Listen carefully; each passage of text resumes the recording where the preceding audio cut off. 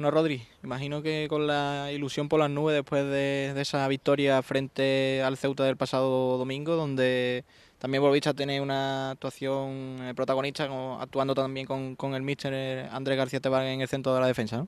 Sí, no, la verdad que muy contento, ¿no? Muchas ganas de... Se viene diferente, ¿no? Entrenar en una nueva semana después de una victoria y sí, como has dicho, con el nuevo míster jugué, seguí jugando de central como venía y muy contento, la verdad. ¿Cómo viste ese partido donde al principio el equipo se puso dos veces por debajo, pero base de, garra, de intensidad, de coraje, pudo darle la vuelta y sumar tres puntos muy importantes de cara a la clasificación? Sí, no sabíamos que era un partido muy muy complicado, venía un, rival directo, ¿no? Como el Ceuta, un buen equipo y bueno, tuvimos la mala suerte de que en dos balones parados nos hicieron los dos goles, pero creo que nos tenemos que quedar con la capacidad que tuvo el equipo de saber sobreponerse y, poder remontar partido.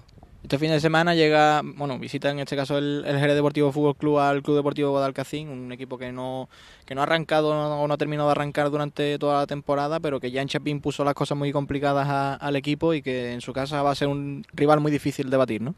Sí, no, está claro, ¿no? Por la experiencia que tengo de haber jugado en ese campo, siempre es un campo en el que el Guada a todos los equipos le puede competir y sabemos que es un partido muy complicado y que tenemos que tratarlo como muy importante si queremos sacar los tres puntos. ¿Cuál crees que va a ser la clave para intentar sacar los tres puntos? Mucho juego directo, eh, tratar de, ganar todas las disputas individuales y, ser certeros en las ocasiones, ¿no? Sí, no, está claro, ¿no? Sabemos que con las dimensiones de ese campo y el terreno de juego que tiene, muy importante lo que es la segunda jugada de juego directo y también creo que puede ser algo muy importante a la hora del balón parado, creo que puede ser determinante en el partido. Eh, para ti, partido especial porque vuelves al club donde jugaste mucho, muchos años. Eh, ¿Cómo crees que, te va a recibir la afición? ¿Cómo crees que te vas a sentir eh, al volver al Fernández Machán?